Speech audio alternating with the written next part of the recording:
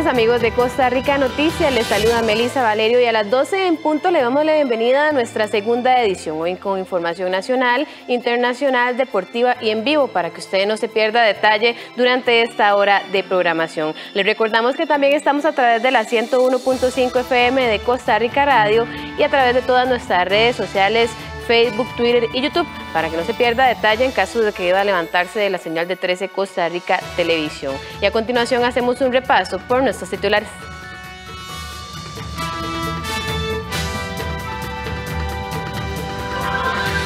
Un colorido y extenso mural viste de arte el edificio de la emblemática Sala Garbo en San José. Información en vivo cierre de comercios, partes policiales por ingerir licor en vía pública y procesiones canceladas. Así amanece Santa Cruz después de los desórdenes de este jueves.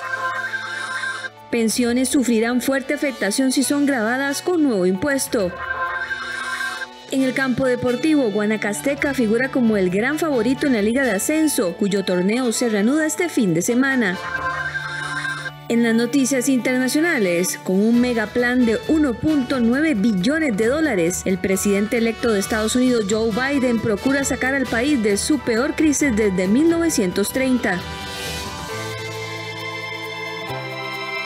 Y vamos con el detalle de las informaciones y esta vez en vivo. Un grupo de artistas y amantes de la cultura llevaron a cabo un proyecto de restauración de la Sala Garbo, una de las salas de cine más icónicas en Costa Rica desde los años 70 a través del arte del pintor y muralista costarricense Pablo Vargas, la productora de Caravana, la directora de Sala Isabel Mesalles y artistas voluntarios, la Sala Garbo luce hoy una nueva fachada llena de historia. Precisamente la periodista Rita Valverde se encuentra en este lugar, en Paseo Colón, y nos trae los detalles. Muy buenas tardes, Rita, adelante.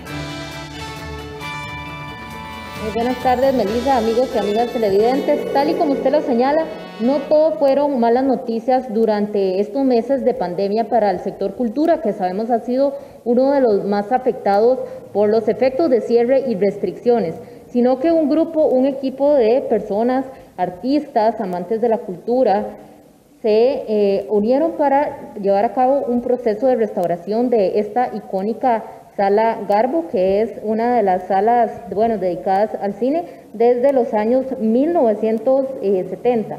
Esta sala, de hecho, se inauguró el 7 de mayo de 1977 de la mano del Ismofil, una de las primeras y más importantes productoras centroamericanas. Y en esta eh, iniciativa cultural eh, convinieron distintas personalidades como Samuel Robinsky, Antonio Iglesias, Carmen Naranjo, Sergio Ramírez y Nicolás Baker, que fue un británico que influyó de manera importante en este proyecto de la Sala Garbo. Esta sala, recordar que proyecta en su mayoría cine extranjero, pero también cinematografía costarricense, tampoco se deja de lado.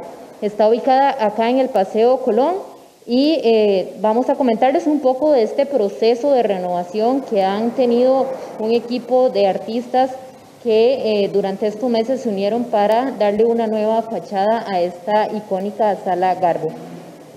Y es que dentro de este proceso de restauración se incluyó o destaca la creación de dos murales, uno en la parte externa de la sala Garbo y uno en el lobby, que fueron eh, creados por el pintor y muralista tico Pablo Vargas. Tienen un estilo, una técnica acrílica con 16 tonalidades diferentes de color. Uno, el de la parte externa, está, es el que retrata la personalidad de Nicholas Baker, que es uno de los fundadores, y el mural que está ubicado en la parte del lobby, en la parte interna retrata a la actriz Greta Garbo, que también esta sala lleva el nombre en honor a esta actriz.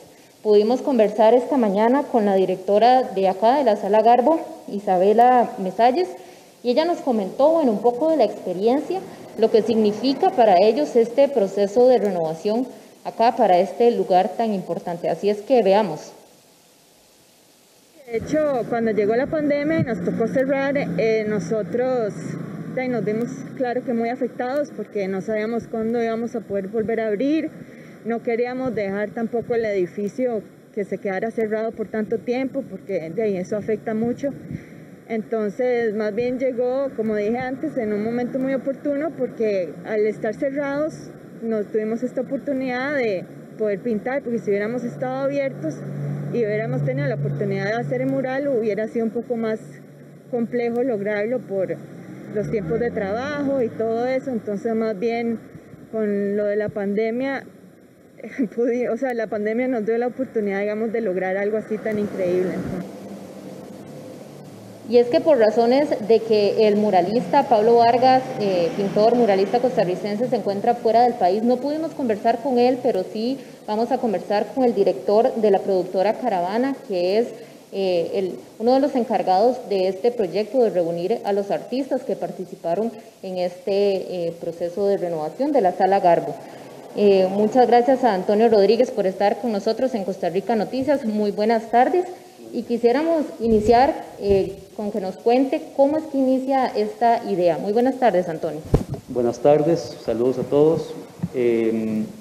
Bueno, pues como pueden imaginarse, eh, durante la pandemia todos los artistas, que todos los artistas son inquietos, en todo caso se han quedado con muchas ganas de, de producir y de crear.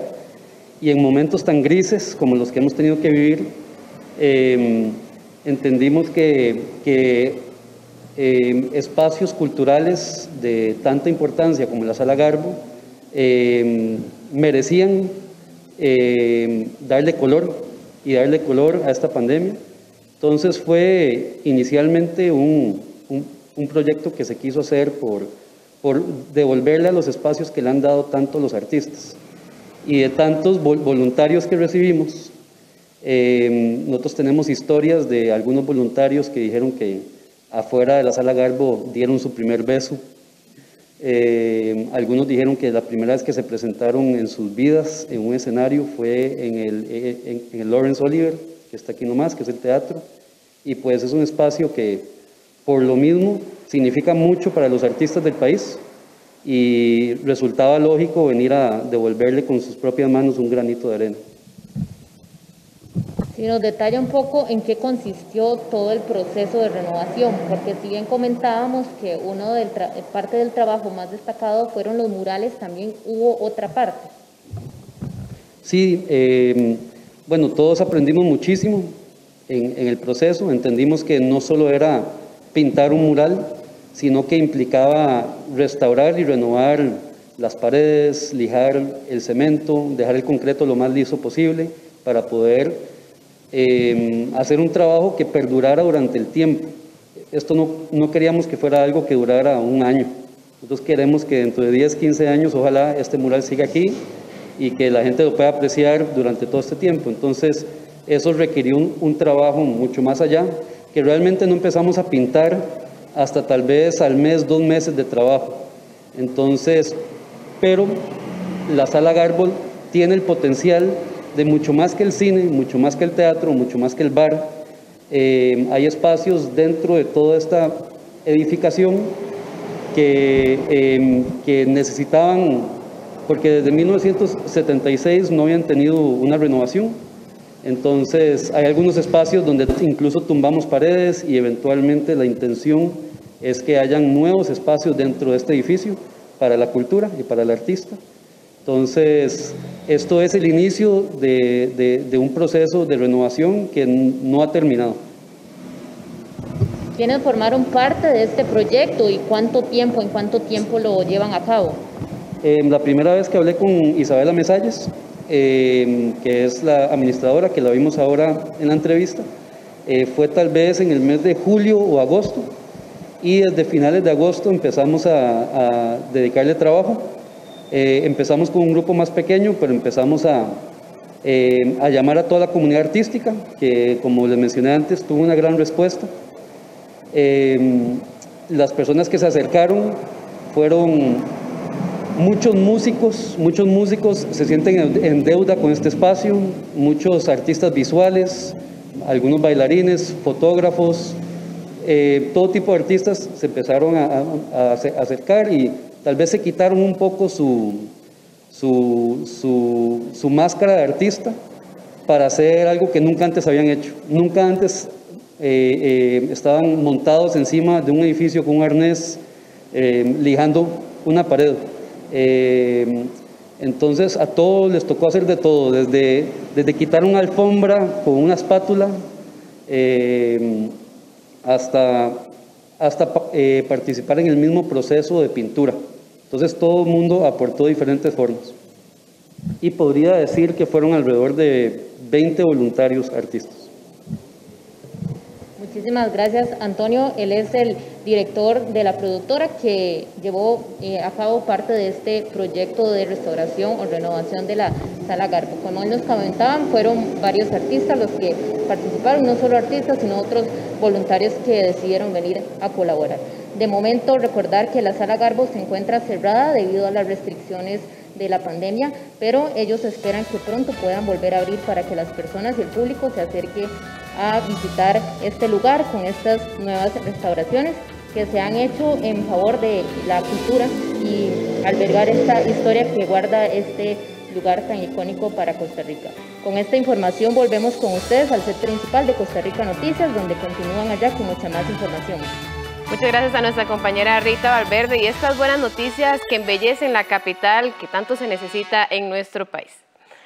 Y cambiamos de informaciones, es que cuatro establecimientos comerciales cerrados por incumplir directrices de, aforo, más de un centenar de partes policiales por ingerir alcohol en la calle y la suspensión de las actividades religiosas en vía pública, este fue el saldo de los desórdenes de este jueves en los improvisados festejos patronales de Santa Cruz de Guanacaste.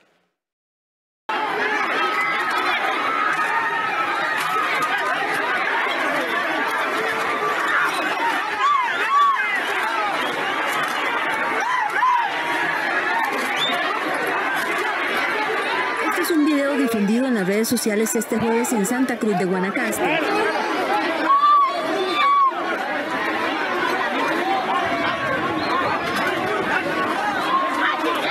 Riña en media calle entre al menos 10 personas y otro tanto de espectadores. Fue parte de lo sucedido en ese cantón guanacasteco ante las celebraciones improvisadas en honor al Santo Cristo de Esquipulas, consumo de licor, caballistas y aglomeraciones de personas en la vía pública, mostrando el nulo cumplimiento de medidas sanitarias por la pandemia de la COVID-19. También se presentaron en el centro de Santa Cruz la tarde y noche de este jueves. Ante estos desórdenes, la policía procedió al cierre de cuatro establecimientos comerciales, entre bares y restaurantes que incumplían con la medida sanitaria del aforo. Además, realizaron 100 informes policiales a personas que se encontraban tomando licor en la vía pública. Tenemos un resultado en este momento de 100 informes policiales a personas que se sorprendieron en esa conducta del consumo de alcohol en vía pública. También se cerraron cuatro establecimientos comerciales, eh, bares y restaurantes que, eh, por incumplir las medidas sanitarias del aforo, dos licoreras, se detectó una conducción temeraria y una captura penal. Ya a este momento tenemos un restablecimiento total de la tranquilidad cantonal en un esfuerzo eh, policial en esta zona. Adicionalmente, por solicitud del Ministerio de Salud, quedaron suspendidas las actividades religiosas en la vía pública, como es el caso de las procesiones programadas para el jueves y viernes. Quiero que se suspendan las actividades religiosas que involucran el uso de vía pública esta solicitud no incluye de las actividades religiosas dentro de la iglesia.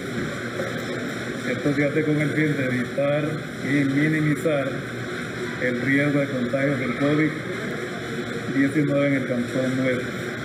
Tradicionalmente, todos los años, entre el 14 y el 18 de enero, Santa Cruz celebra sus tradicionales fiestas en honor al santo, pero ante la crisis por el coronavirus este 2021 no se efectuaron oficialmente. Por ende, las celebraciones de los ciudadanos no estaban avaladas por la municipalidad correspondiente ni por el Ministerio de Salud.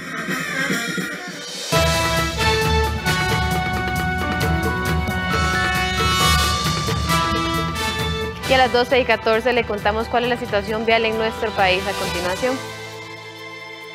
Usted puede observar en pantalla el sector del Real Cariari, fluidez tanto para los que van para San José como para los que van también para el sector de Alajuela, así que evite velocidad en esta zona.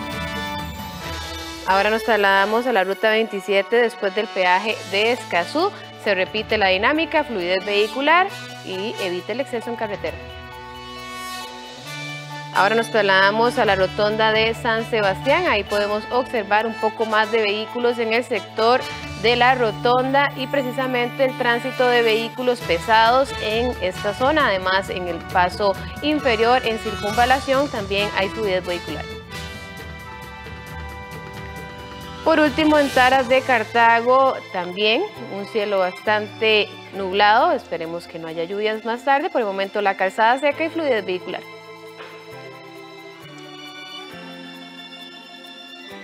Y a las 12 y 16 hacemos nuestra primera pausa comercial, pero quédese con nosotros que traemos mucha más información.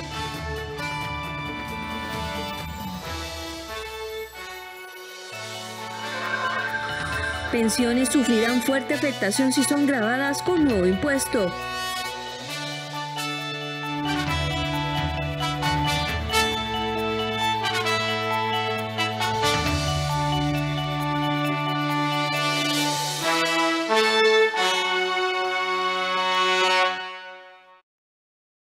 En el espacio Arte 13.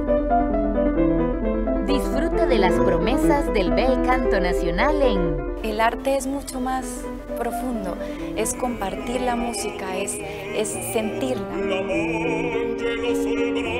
Jóvenes cantantes líricos de Costa Rica.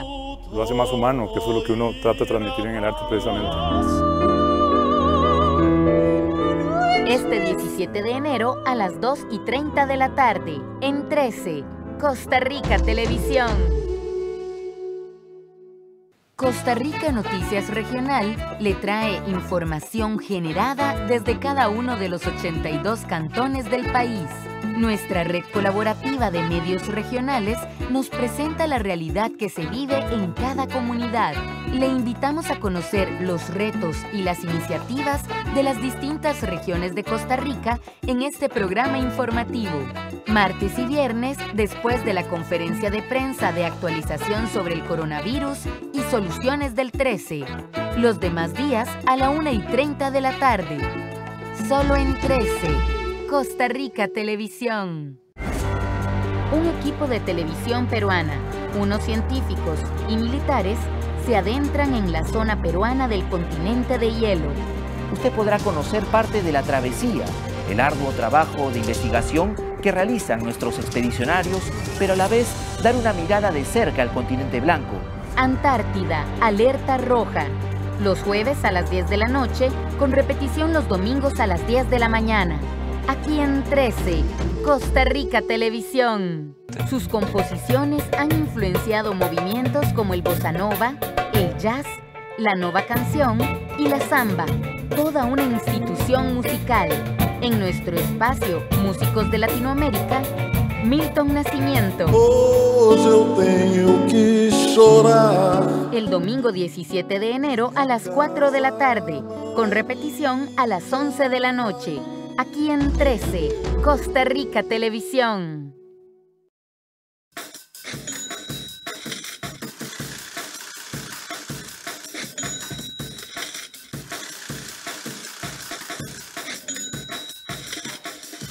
Y a las 12 y 19 le informamos cómo se encuentra el tipo de cambio para este fin de semana. La compra se encuentra en 605 colones con 0,3 céntimos y la venta en 611 colones con 12 céntimos.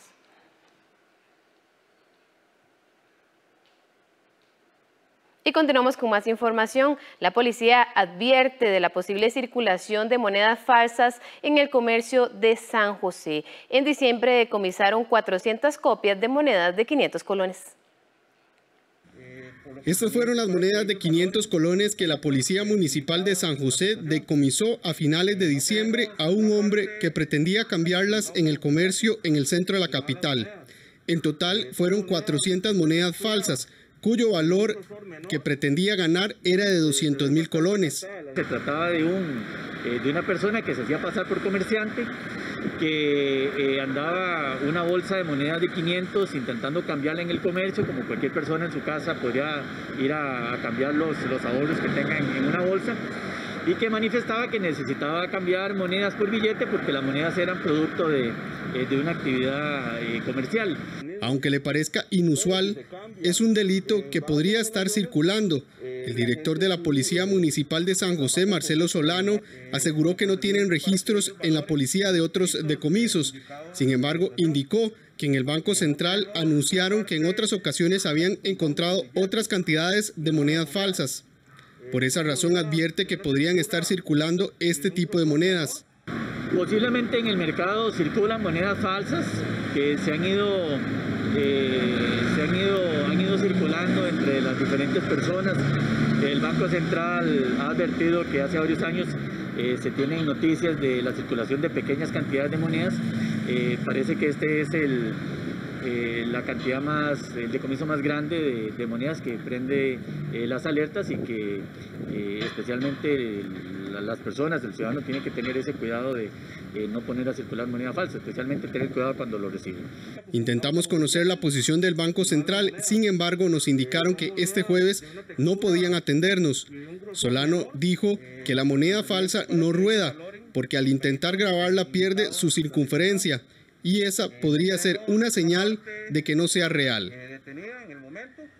Si las pensiones son grabadas tal y como lo plantea el Ministerio de Hacienda en una propuesta enviada al primer poder de la República, la misma podría verse afectada hasta en un 20% en los próximos años, según el ex superintendente de pensiones Edgar Robles.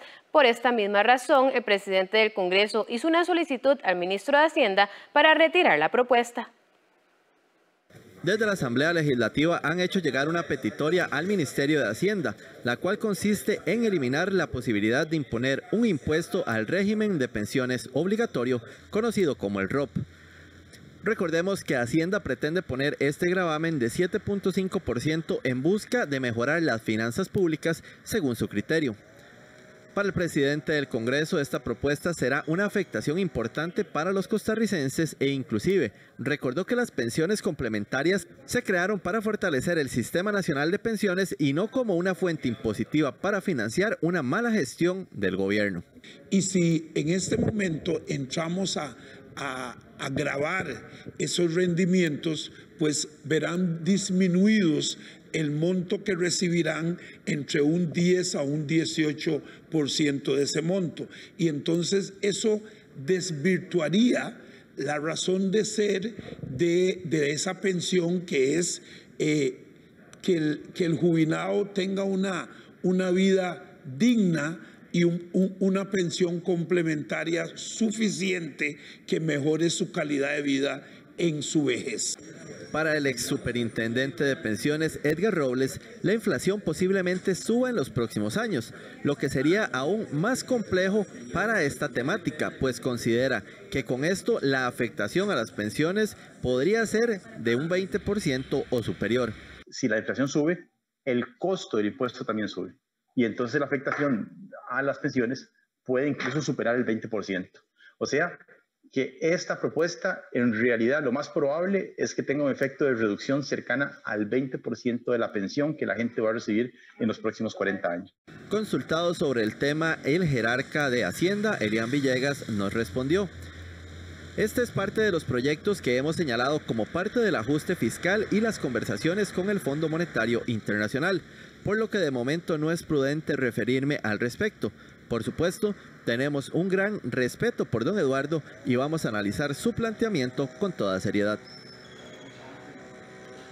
Pese al interés de las casas farmacéuticas y centros de salud privado de comprar la vacuna contra la COVID-19, la empresa Pfizer aseguró que durante este año sus esfuerzos estarán concentrados en trabajar de lleno con las autoridades de salud y gobiernos dependeríamos de esas eventuales dosis adicionales que esas casas farmacéuticas nos puedan destinar como sector privado. Estamos justamente en esos acercamientos y esperaríamos, eh, también hemos visto países eh, quizás más desarrollados que han eh, contratado más dosis de las que efectivamente van a necesitar. Quizá ahí podría haber algunas dosis adicionales de lo que el, el gobierno de Costa Rica ha eh, digamos, visualizado y que podríamos eh, adquirir por, eh, por parte del sector privado.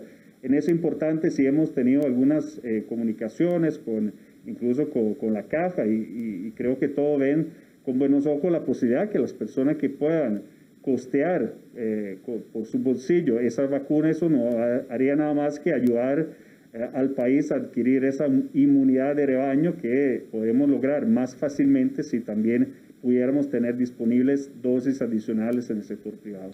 Pese a que el sector privado de salud anunció su interés por adquirir al menos un millón de dosis de la vacuna contra la COVID-19 para el sector privado, la empresa Pfizer manifestó que su interés para este año no está enfocado en los centros privados. En un comunicado de prensa dijeron lo siguiente.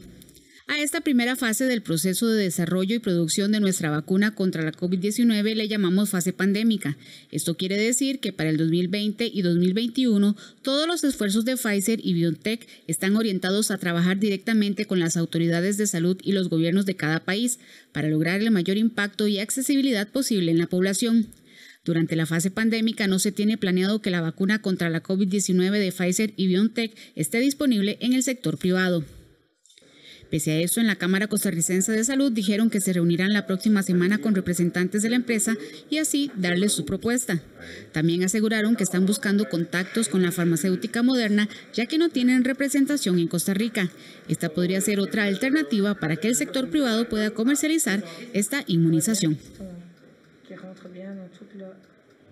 Y a las 12.26 continuamos con más información y es que tal cual como ya anunció el Ministerio de Educación Pública, el retorno a las clases es una realidad a partir del próximo mes de febrero. Luego de un año de recibir clases virtuales, este regreso a clases presenciales presenciales abre muchas interrogantes y temores, tanto en los alumnos como en los padres de familia y cuidadores. Para hablarnos sobre estos temores y cómo abordarlos de la forma o de la mejor forma, nos acompaña vía remota la psicóloga Catalina Cárdenas, a quien le damos la bienvenida. Muy buenos días, doña Catalina. Buenos días, un gusto saludarlos y saludar a su audiencia.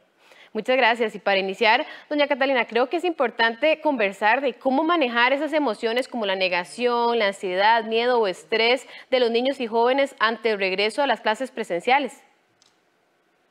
Claro, yo creo que todos los jóvenes y los niños quieren regresar, pero tenemos un largo periodo donde hemos estado mucho tiempo en casa y obviamente eso nos hace sentir que tenemos mayor posibilidad de encontrarnos a gusto y seguros en la casa que, en la, que, fuera de ella. Entonces, esto al final también puede impactar en que los chicos desarrollen ansiedad o temor eh, de regresar. Y también en los más pequeños es bastante probable, porque lo hemos visto en otros países que ya están en este proceso, que tengan lo que nosotros los psicólogos llamamos ansiedad de separación. Eh, que les cause ansiedad separarse de su figura principal de cuido porque han pasado prácticamente un año en casa junto con estas figuras. Entonces, es, es importante reconocer esas emociones como válidas, como importantes, eh, el escuchar, dar espacios de comunicación donde los chicos y los adolescentes puedan decirnos cómo se sienten, pero que también nosotros como adultos, además de abrir ese espacio para la comunicación, no le transmitamos nuestras propias angustias a los chicos, ¿verdad? Eh, de alguna manera es importante eh, que también nos informemos qué estrategias están cumpliendo las escuelas, tanto privadas como públicas, para prevenir el contagio y sin exceso de información, pero sí con muy claras pautas de acción, le informemos a los chicos cómo van a protegerse de contagiarse y dar ese espacio para conversar sobre las emociones que puedan tener y la parte positiva de regresar a clases, ¿verdad? Que si bien es cierto, puede que se sientan ansiosos, también es importante darles la oportunidad de compartir cómo se sienten y rescatar el aspecto positivo de volver.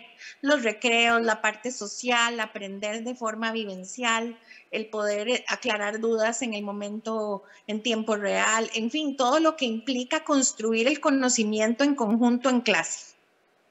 Doña Catalina, a pesar de todo eso que usted no me menciona, siempre existe una negatividad de muchas personas. Entonces, es importante tal vez recalcar que qué beneficios trae en su proceso de formación ese retorno a las clases presenciales.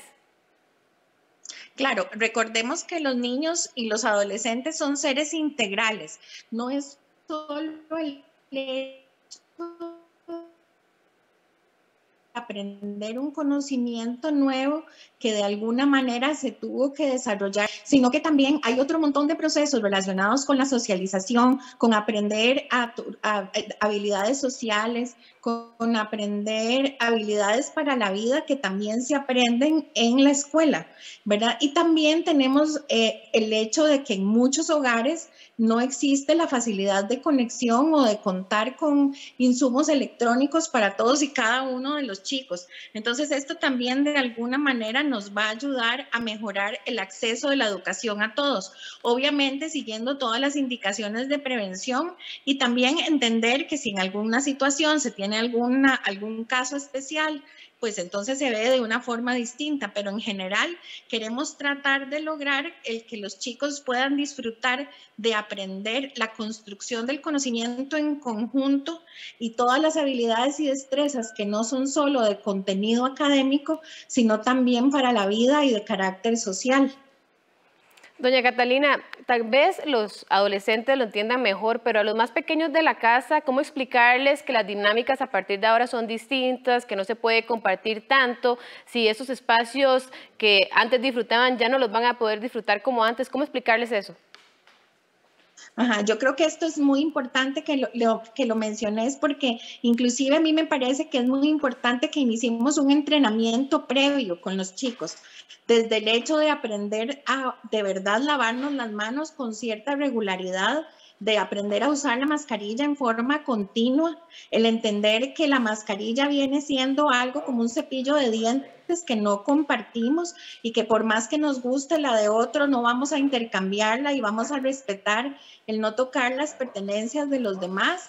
Eh, el que la usen por tiempo prolongado para que se acostumbren, inclusive que tengamos la posibilidad de evaluar cuál es el modelo de mascarilla que se ajusta mejor para nuestros chicos, porque habrá algunos que les moleste más una orejita o en fin, que se sientan cómodos y que aprendan a utilizarlo. Esto desde un punto de vista más instrumental. ¿verdad? Más de aprender a usar este tipo de herramientas. E, y la otra parte de, que se refiere a la pregunta que me haces, también tiene que ver con aprender cuál es el protocolo y cuál es la forma en la que cada escuela y cada aula va a manejar el, el, programa o la estrategia de escuela segura, ¿verdad? Para que los chicos conozcan cuáles son las indicaciones que deben cumplir, las, las adquieran y se adhieran a ellas. Eh, los niños nos sorprenden. Eh, déjame contarte que ellos con mayor facilidad asumen hábitos nuevos para su seguridad.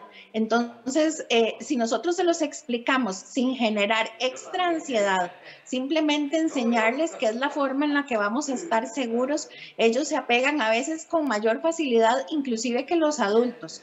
Nada más necesitamos transmitir con seguridad y con claridad cuáles son los pasos a seguir para estar seguros. Entonces, esto necesitamos hacerlo con cierta anticipación para que tengan claro qué es lo que deben hacer.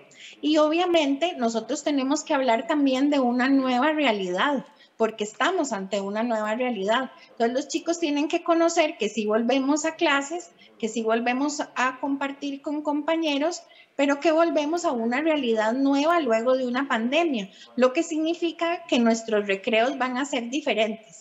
Esto es importante que lo transmitamos no como una situación dolorosa o trágica, sino más bien como una excelente oportunidad de reencontrarnos con los amigos, aunque sea bajo una nueva realidad.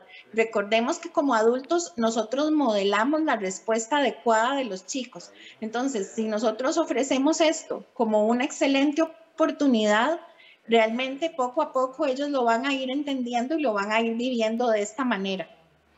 Para finalizar, doña Catalina, quizá puntualizar cómo establecer de nuevo esa rutina, nueva rutina con la nueva normalidad que vivimos para que los padres estén o sus cuidadores estén listos de lo que viene. Sí, como hablábamos antes, yo creo que es importante iniciar ciertas actividades de carácter instrumental con tiempo. ¿A qué nos referimos con esto? Nos referimos, por ejemplo, no es un secreto para nadie que hemos cambiado muchas de las dinámicas que usualmente usábamos. Por ejemplo, los chicos se levantan más tarde, tienen formas diferentes de sentarse a clases, entonces necesitamos recuperar hábitos que nos ayuden a mejorar de, cara al regreso a clases. Por ejemplo, los horarios, empecemos a manejar horarios similares unas dos semanas antes de entrar a clases para que no represente un cambio tan fuerte para los chicos el inicio de las clases presenciales. La otra cosa que es importante, como mencionaba anteriormente, es el uso de la mascarilla o la careta en la edad que lo, pidan, ¿verdad? esto es muy importante porque es un requisito indispensable para que nuestros chicos estén seguros. No vamos a esperar hasta el primer día de clases para probar cuál mascarilla le queda mejor o si le queda muy grande, si le tapa completamente la cara y la visibilidad. Entonces tenemos que arrancar esto con anticipación. Y otro detalle muy importante es el uso de electrónicos. En todo este tiempo, precisamente por la virtualidad, los chicos han tenido mayor acceso a las, a las a, las horas que utilizan los aparatos electrónicos. Y ahora volvemos a clases que requieren hábitos como los que teníamos antes y otros nuevos. Entonces es importante que iniciemos unos 15 días antes con estos cambios para que los chicos se acostumbren con mayor facilidad a estos nuevos horarios porque ya tenemos muchos meses de gozar de una realidad completamente diferente, ¿verdad? Bueno, doña Catalina, muchísimas gracias por habernos acompañado, darnos un pincelazo de la situación que estamos de pronto de vivir y también para una previa preparación adecuada ante esta nueva normalidad. Muchas gracias a ustedes por la oportunidad de brindar guía a nuestras familias. Muy amables. Muchísimas gracias a doña Catalina Cárdenas, quien es psicóloga para todos y nos mencionaba cuál era la nueva realidad a partir del próximo mes de febrero cuando retorne la modalidad mixta de clases tanto virtuales como presenciales. Y cambiando de tema, para su habilidad para caminar sobre el agua propició su particular nombre. Le hablamos del lagarto basilisco, la especie de hoy en nuestra sección Animales en Libertad.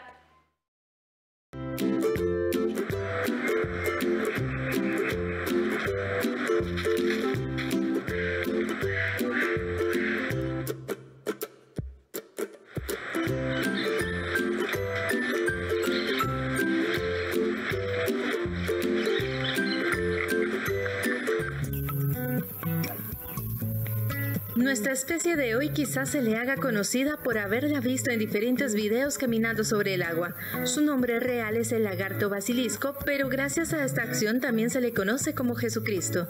Esta lagartija habita Costa Rica y otros bosques tropicales desde México hasta Panamá. Generalmente viven en los árboles cerca de cuerpos de agua. Los basiliscos tienen la notable habilidad de caminar sobre la superficie del agua. Sus patas posteriores están provistas de unos lóbulos dérmicos que funcionan como aletas, los cuales aumentan la superficie de apoyo sobre el agua. Estos son enrollados cuando el animal camina por tierra. Si afronta peligro, comienza a correr muy rápidamente sobre la superficie de un río o un lago y las aletas de sus pies traseros se abren permitiendo aumentar su superficie de apoyo y así correr sobre el agua. Al disminuir su velocidad, el basilisco se hunde y tiene que nadar de forma normal como cualquier otro lagarto. Este reptil tiene la capacidad de atravesar un lago sin hundirse con una velocidad de 10 kilómetros por hora. Una vez salvo y fuera del alcance de su enemigo, frena y se mete en el agua donde permanece sumergido unos minutos.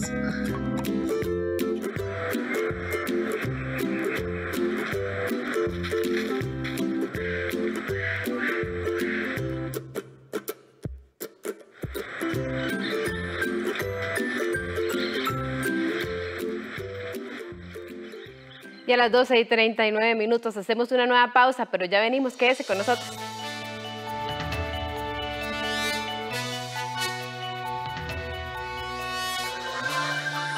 En el campo deportivo, Guanacasteca figura como el gran favorito en la Liga de Ascenso, cuyo torneo se reanuda este fin de semana.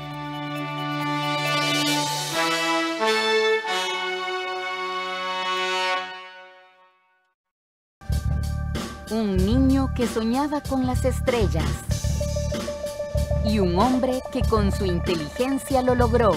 Franklin Chang, la biografía. Yo no estoy aquí por mí mismo, estoy aquí porque mucha gente me echó el hombro, me puso la mano, me ayudó, me, me abrió las brechas. Ahora me toca a mí. De lunes 11 al viernes 15 de enero a las 6 de la tarde y el lunes 18 a la misma hora, aquí en 13, Costa Rica Televisión. Te invita UNED. La historia de dos mujeres colombianas de diferentes épocas, pero con varias similitudes en sus vidas. Profesoras, viudas, con hijos desaparecidos y desplazadas a causa de la violencia centenaria en nuestros territorios. Nosotros estamos hechos de historias, de historia. Yo con mi general siempre sueño, cuando estoy despierta o cuando estoy dormida. La Loca Margarita, una serie de parte de la historia de Colombia. Estreno el sábado 16 de enero a las 7 y 30 de la noche, aquí en 13, Costa Rica Televisión. Todos los domingos a las 7 y 30 de la noche tenemos el sorteo de la Lotería Nacional. Desde la Junta de Protección Social de San José. Solo en 13. Costa Rica Televisión. Una pareja quienes desde niños forman una gran amistad en el Japón antiguo, pero el destino les llevará por diferentes caminos. Bunshido, una historia por el mes del amor, amistad y honestidad. Estreno el 6 de febrero, solo en 13, Costa Rica Televisión.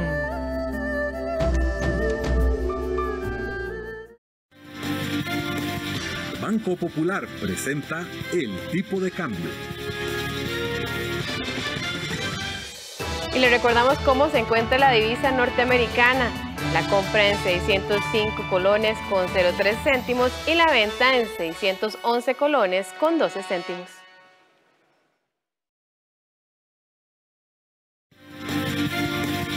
Banco Popular presentó el tipo de cambio. Y continuamos con la información. El Tribunal Supremo de Elecciones prevé la inscripción de 154 mil nuevos electores para los comicios nacionales del 2022. Si las elecciones fueran hoy, podrían asistir a las urnas casi 3 millones 500 mil electores. Después, desde este 14 de enero quedó definido el calendario electoral y será el 6 de octubre de este 2021 cuando el Tribunal Supremo de Elecciones, de Elecciones haga la convocatoria oficial de las elecciones nacionales de febrero del 2022. El Tribunal Supremo de Elecciones aprobó el calendario electoral base para los próximos comicios presidenciales que se celebrarán en febrero del 2022.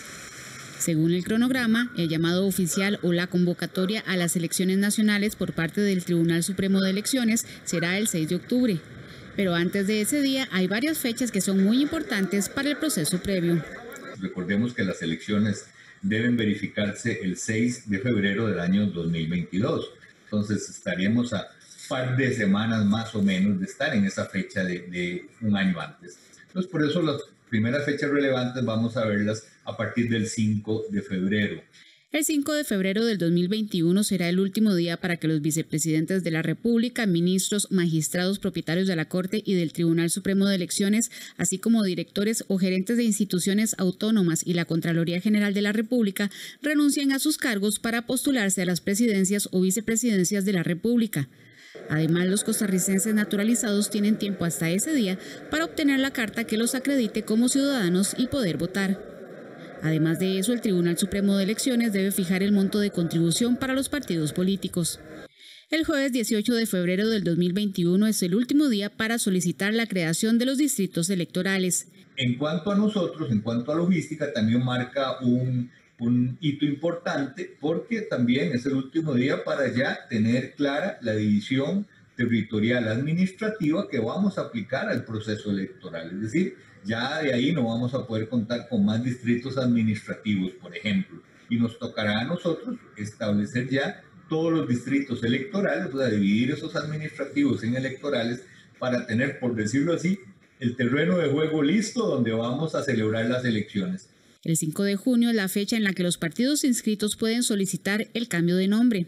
Además, hay otra fecha muy importante como lo es el 5 de octubre no solo todos aquellos que cumplen años el día de la elección inclusive, es decir, desde el 6 de octubre, que es la otra fecha importante, que es la convocatoria de elecciones, hasta el día de la elección inclusive, todos los que cumplen 18 años tienen que haber solicitado la cédula a más tardar el 5 de octubre, si quieren votar. ¿Qué pasa si la solicitan el 6 de octubre o posteriormente? Bueno, la cédula se les va a entregar, pero no van a aparecer en la lista de electores. El Tribunal Supremo de Elecciones prevé la inscripción de 154 mil nuevos electores para los comicios nacionales del 2022. Si las elecciones fueran hoy, podrían asistir a las urnas 3.494.918 electores.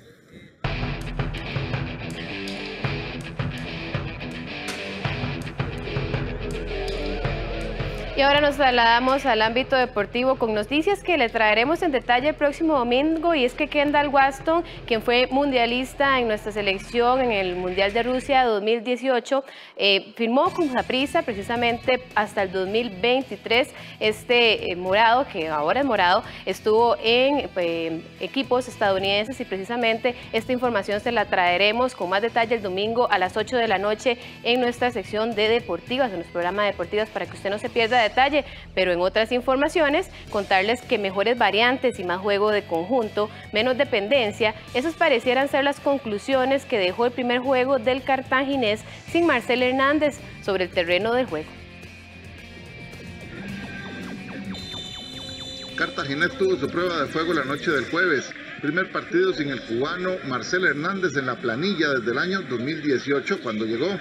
A sabiendas de eso, los brumosos buscaron otras fórmulas y vieron más opciones de conjunto en movimientos. Al menos eso notó el técnico Horacio Esquivel como conclusión. Yo miré Cartago un equipo como con mejor elaboración, eh, podría decir que más conjunto, menos dependencia de alguien.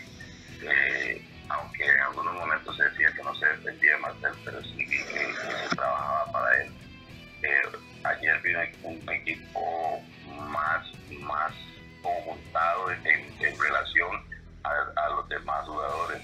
Cuando digo eh, más conjuntado no es que pues, no estuviese bien anteriormente, pero sí me parece que más elaboración, más participación de, de algunos jugadores, vía Bonilla este, muy metido, como más suelto, como que tenía más libertad ante la salida de Marcel se fueron 59 goles hechos en los últimos años, pero llegaron el hondureño Roger Rojas y David Ramírez, quienes en el fútbol tico suman entre ambos 81 goles. No obstante, Esquivel no considera que eso sea un factor para un buen reemplazo y más bien cree en buenas variantes de ofensiva. Yo vería más el trabajo de conjunto. Yo siempre he creído que un equipo hace a un jugador, un jugador no hace a un equipo. Me parece que, que este equipo que tiene Cartago hoy podrá trabajar más en base eh, en, relación al equipo, no en, base en relación a una persona.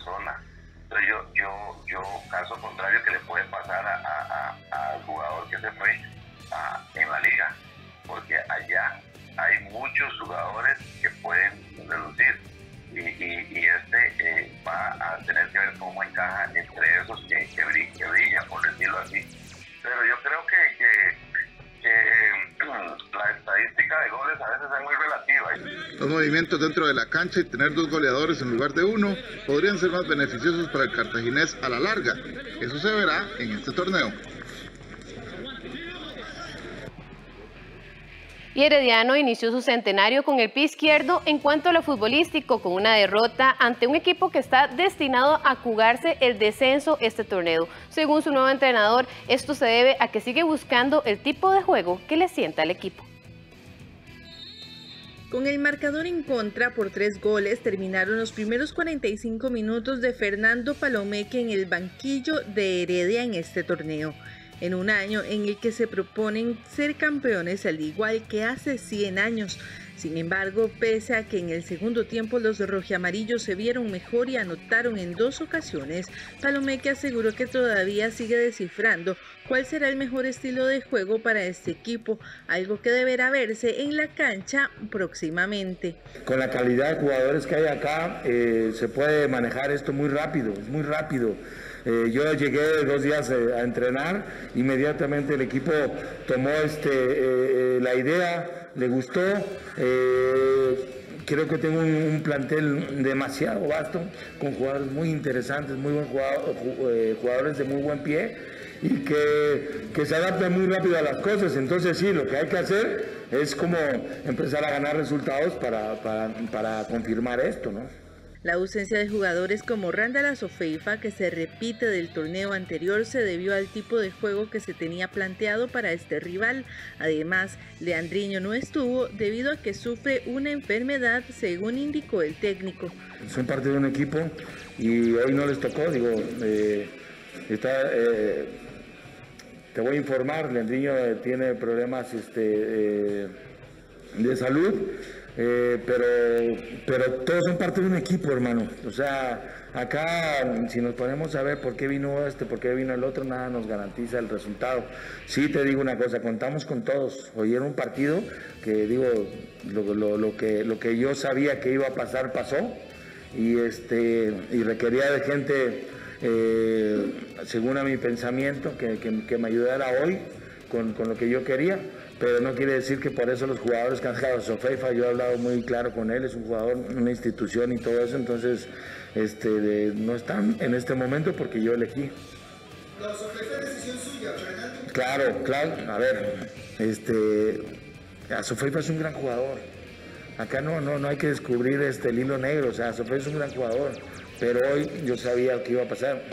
Cuando venga Sofeifa, no quiero que me vayan a preguntar por qué no está Brenes y cuando no esté Sofeifa ni Brenes no me van a preguntar por qué juega eh, este Esteban. ¿Me explico? Somos un equipo, es un equipo muy vasto, ya te digo. O sea, no es un equipo eh, cortito ni nada. La primera vez que me encuentro con una situación así me agrada, o sea, tener ese problema. Por eso es que hay que tomar decisiones. Mientras que para los josefinos vencer a un rival como Herediano es un estímulo mental debido a su situación en este torneo, los heredianos deberán trabajar más para conseguir su ansiado título en su centenario. En el próximo juego, el team se medirá a San Carlos. El torneo de la Liga de Ascenso tendrá su reapertura este fin de semana. Guanacasteca llegará como el gran favorito para el título conseguido el pasado, por el título conseguido el pasado campeonato de apertura. La Liga de Ascenso entrará en acción el próximo fin de semana. 17 equipos que llegarán con la clara intención de dificultarle el paso al éxito y ascenso al equipo 18, Guanacasteca. La entidad está satisfecha por lo conseguido, ya que todo ha salido bien en medio de un campeonato complejo, donde han tenido que ayudar económicamente a los equipos para mantenerlos en competencia. Hay equipos se les complica muchísimo, a la Liga de Ascenso también. Hemos invertido muchos recursos propios de la Liga de Ascenso para que puedan viajar a, los estadios, eh, hemos dado subsidios de, alquileres de estadios, de transporte, de alimentación, pero eh, es muy complicado, pero hay que hacerlo, es lo que tenemos y es lo que nos exige y, tenemos que cumplirlo, pero, pero sí, pues lo ideal sería que cada equipo juegue en su propio estadio. Mientras equipos como Guanacasteca se aprestan a pelear por el ascenso, dado su subtítulo ya conquistado en la apertura, otros como Punta Arenas FC buscan replantearse y encontrar un proyecto que en este torneo los ayude a madurar y buscar el ascenso paulatinamente. Hay muchos jugadores de esta zona que, sabemos bien claro que, que salen a, otros equipos de, todo el país, a equipos grandes de Costa Rica. Eh, así que estamos en un proyecto muy lindo con jóvenes de acá, más algunos refuerzos como Carlos, Carlos Díaz, eh, Valderramos, Wilman Núñez, este, más sumándose a, Daniel Quirós, a Mario Centeno. Entonces estamos, creo que estamos proyectando eh, algo, algo muy importante para la provincia, eh, con jóvenes de acá el cuerpo técnico en general están muy enfocados en trabajar eh, de la mejor manera y sacarle provecho a ese pasito que tenemos ya en la primera división, pero sin confiarnos, sabiendo que, que nada hemos ganado todavía, que lo más complicado está todavía por venir y que tenemos que ser muy responsables, no podemos relajarnos y tenemos que trabajar el doble de lo que lo hicimos el torneo pasado para llegar a la primera división. El próximo torneo será el del Clausura 2021. Si Guanacasteca lo gana, inmediatamente ascenderá a la primera división. Si fuera otro equipo, habrá una gran final nacional ante los Pamperos. y el que gane esa serie será el que llegue al torneo de primera división el próximo campeonato. Y hasta aquí la información deportiva, pero le recordamos que el domingo a las 8 y 15 de la noche usted tendrá estas y otras informaciones en Deportivas del 13. A esta hora hacemos una pausa y ya venimos con mucho más.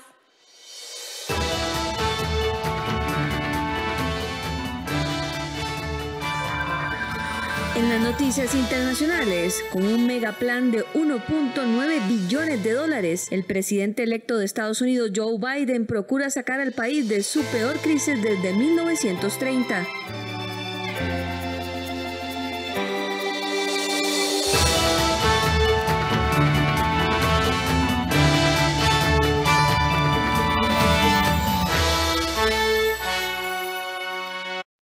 En Documentales UNED esta semana recibimos un taller de educación ambiental y visitamos el volcán Turrialba el miércoles 13 de enero a las 9 de la noche, con repetición el sábado a las 4 de la tarde, aquí en 13, Costa Rica Televisión. Este es grupo escocés Simple Minds, No te olvides de mí, de la famosa película El Club de los Cinco.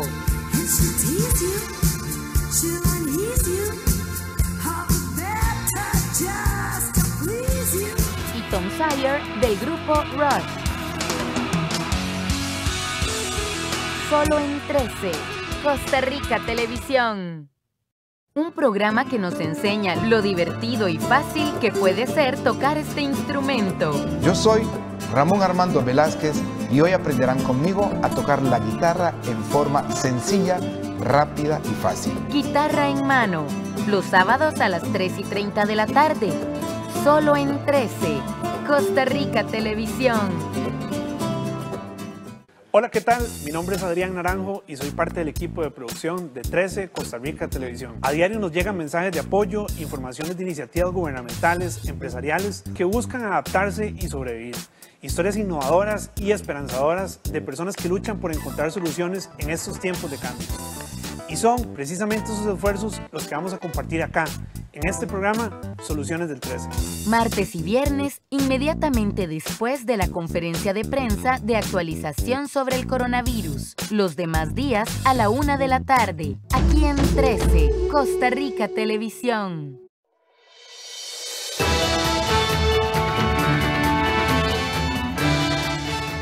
Y a las 12.58 le contamos que la Fiscalía Mexicana exoneró al exministro de Defensa señalado por Estados Unidos de cometer supuestos delitos de narcotráfico.